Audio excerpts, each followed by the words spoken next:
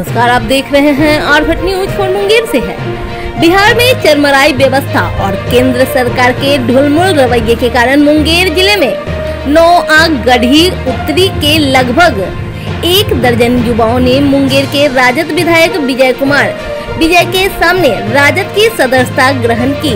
ये सभी युवा जनता दल यूनाइटेड पार्टी के सक्रिय सदस्य थे।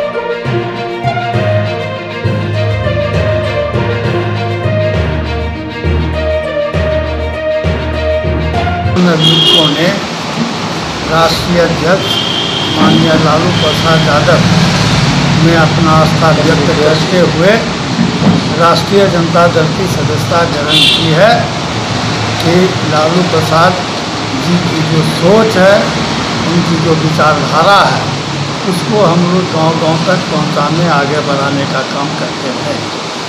तो ये लोग जदयू समर्थक थे जदयू के समर्थन से जो सरकार की जो नीति रही है लॉकडाउन से लेकर अभी तक, जो बेरोजगारी बढ़ी है केंद्र की नीतियों के कारण, इससे नाराज़ होकर इन लोगों के उम्मीद गई है। नेता प्रतिपक्ष प्रतिपक्ष, युवा नेता तेजस्वी यादव जी के नेतृत्व में हम लोगों को रोज़गार भी मिलेगा और जो न्याय हमको मिलना चाहिए, वो न्याय भी हमको मिलने का काम करेगा। इसी आस्था के साथ आज इन लोग, लोगों ने राष्ट्रीय जनता दल की सदस्यता ग्रहण की।